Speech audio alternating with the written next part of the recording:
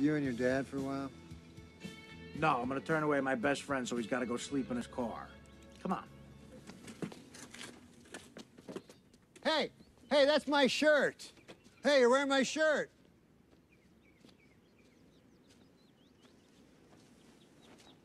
Ah! Here, here you go.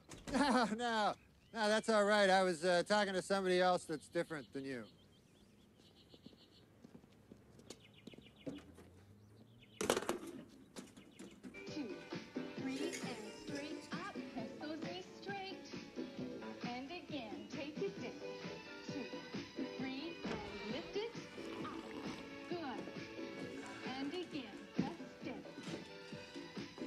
Hey, Pops, how you doing? Hey, pretty good, Sam. Pretty good. But it'd be going a lot better if you brought me a whore. I thought you couldn't, uh, you know. I can't, but uh, eh. I subscribed to the Zoo magazine. It gave me a few ideas.